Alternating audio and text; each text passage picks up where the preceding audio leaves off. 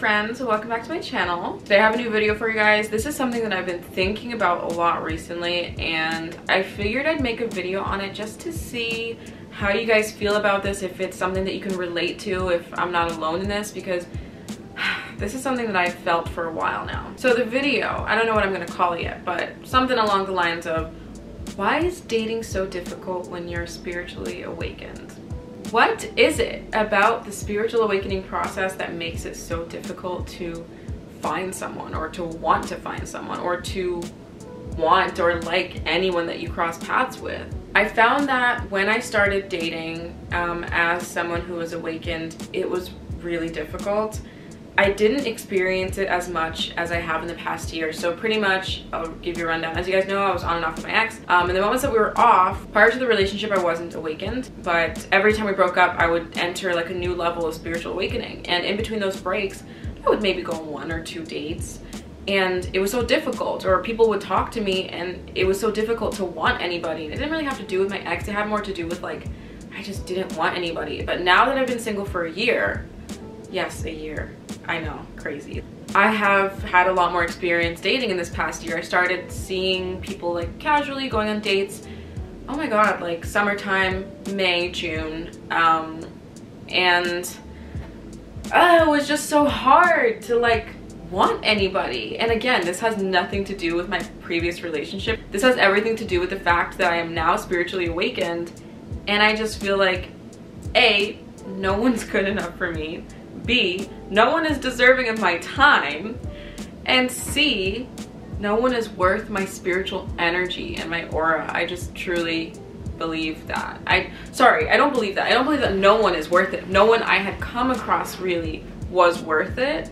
And if they were, I didn't want them. Like I didn't they weren't my type or I wasn't interested or wasn't attracted to them, things like that. Like there have been great people that I've come across that are worth my energy and my time and whatever, but I just like, they're not my type, you know, or I just, mm, we're not, we're not clicking, we don't have chemistry. So except for one. Yeah, like I found that it had a lot to do with my spiritual journey and I want to talk about that. So if you're like me, you've probably found that when you became awakened, um, which by the way, like we're all spiritual beings. We're all born spiritual beings and we are all awakened to an extent. However, when we make the choice for ourselves to embark on an intentional spiritual journey and we go through an awakening process, things are different.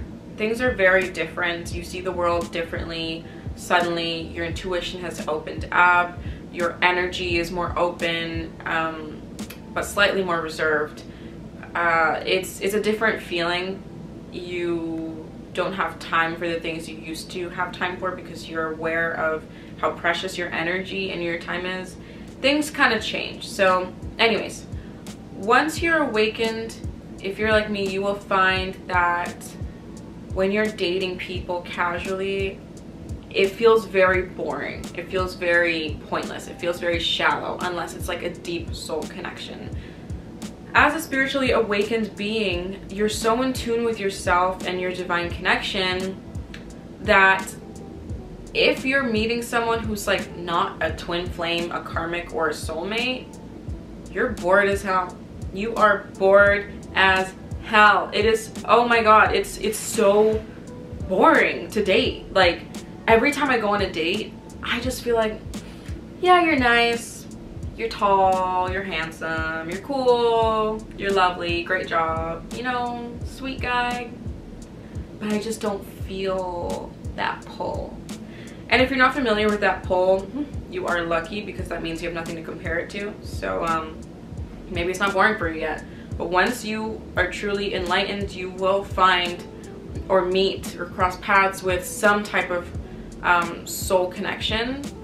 And once you do that, anything less than that is not enough for you. You will find yourself chasing toxic soul connections solely because the soul connection is so intense that you're chasing it, but it's toxic and that goes against your self-love, which is a whole other story. But what I'm trying to say is, I'll give you an example. Um, I've met a soulmate, I've met a karmic, and I've met a twin flame.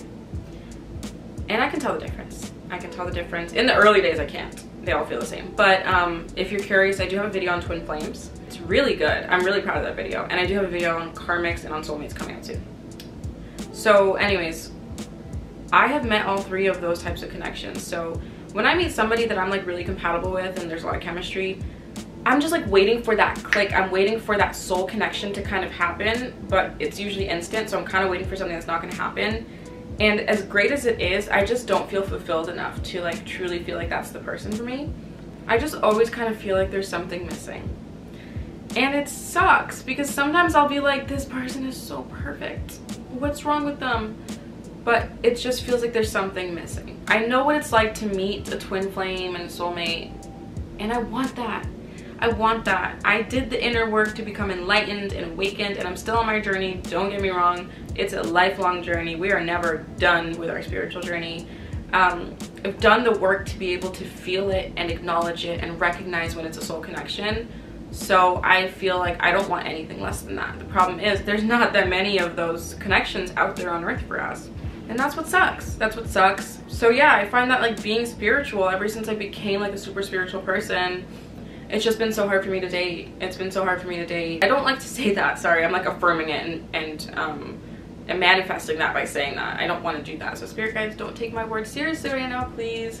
But what I'm trying to say is like, as I became spiritual, it just, it got harder and harder because every conversation I had with people just felt very shallow and surface level. Every connection I made just felt super dull and I just didn't like it. Like when I met my twin flame, it was so magnetic. It was so like electric and so purposeful and so aligned and it was just like a mirror you know? It was such a deep connection that like after that date every other date felt boring. And i was like oh, like where is that spark? Like where is it? You know? And it got really difficult. It got really difficult because i was going on dates and like the dates were going well with other people you know? And then like i was just in the back of my mind i was like ah not the same. Something's missing. It's like it's like when you're cooking a meal and you're missing the key like flavor component. Like let's say you're making uh, I don't know fucking penne alla vodka or something and you're missing garlic or you're missing basil. Yeah, it's good. It's a really good penne alla vodka. It's great actually, delicious. But with some basil or with some garlic, it would be next level and it's just not the same without the basil or the garlic you need that basil and garlic for it to really hit, you know? For you to really be like, ah, that was a really great penne alla vodka. You need it, but you just don't have it. And yeah, you can appreciate this bowl, but you still want another bowl with the chili, with the chili, what? with, with the basil and the garlic. It's just that, like you just, you just need that, you know? So yeah, my dates go great I go home and I'm like, mm-hmm, lovely, mm-hmm. I'll go to another one, I'll go to another one. I'm just waiting for that moment where I'm like, yes, and it, it doesn't come.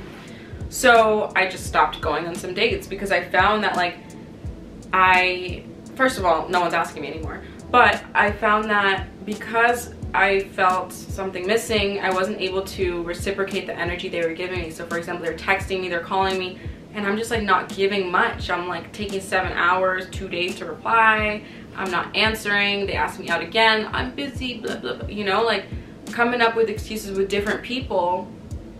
And um, I don't really give it that full shot because I don't want to lead people on. Because like, I could be like, okay, by date five, maybe I'll feel it. I'm waiting for something that's not gonna happen because it's always instant with me when it's that soul connection. I'm waiting for something that's not gonna happen, but in that four to five date time span, maybe they're like starting to really like me or maybe they're really seeing like potential in me and that's not fair. So yeah, maybe I'm not giving people a full chance and it's unfortunate. Maybe I'm chasing something that might not really exist in Canada for me or right now or for the next 10 years. I don't know. But that's why I believe that it's hard to date as a spiritual person because you are so in tune with yourself that, you know, you're craving this soul connection and, and soul connections are not just like waiting for you outside your front door like you have to go through deep healing to be ready for that connection or maybe that connection is what is triggering the deep healing for you and you need to be at that point in your life where you're ready for it and you're not always ready for it so it's not going to happen every day so that's one part of dating um, being difficult when you become like super spiritual and stuff. The other part is what comes with working on your self-love. So when you work on your self-love and you really start to, you know, love who you are inside and out, you set a lot of, um, like put a lot of walls up and you set a lot of boundaries really early and you spot red flags early and it's a great thing. It's a great thing to love yourself enough to know what's right and what's wrong for you off the jump. Like that's a great thing. I went on one date with someone and he had so many red flags, bro. Like he was talking about how, oh, I don't want to put him on blast. Ah, what if he watches this? Whatever. He was talking about, you know, women's body counts and his opinion on that. He was talking like terribly about his ex, using like words to describe her that I just didn't think was okay. He was asking me inappropriate questions. He was, um, saying that he was testing me on something like things like that I wouldn't have noticed when I didn't love myself like I would have just thought it was funny conversation debate you know like I wouldn't have really taken it in which sounds silly because it's like it's obvious actually like it's a big red flag however I didn't see those things because I didn't love myself enough. I was just like, oh, he's just like joking around. Oh, he's just this. We're just having a debate. Now I'm like, I can have the conversation. I can debate but I'll go home and be like, I'm not seeing you again. That was a red flag. That was another.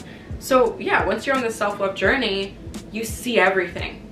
You get really protective over your energy, over your time, and I don't know. Um, also, quick side note, if you don't love yourself and you don't spot the red flags and you don't know how to set boundaries and you need to work on your internal self-love, I got you, girl or boy or person or human or whoever or alien or dog or cat. I have the self-love manifesto. I don't know if you can see it, but this is it. Oh, fuck, you can't see it, can you?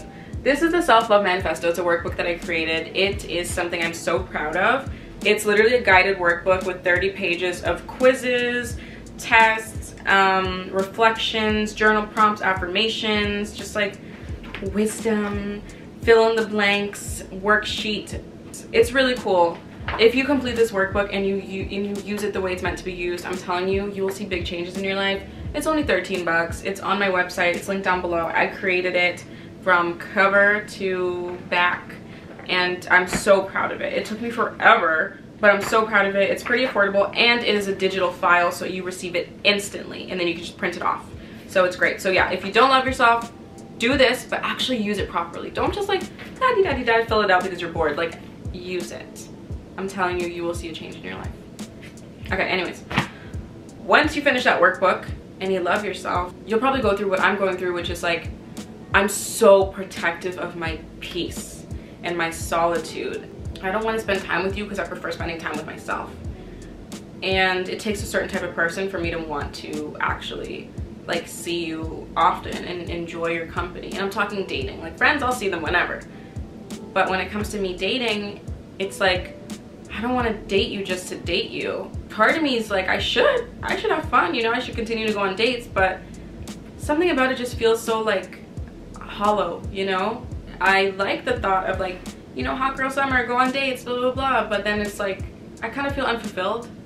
I don't know, I'm gonna try it again in the summer, see how I feel, but when you love yourself, you just get really protective over your peace and, um, you know, you just meet people and you're like, you're not worth my time.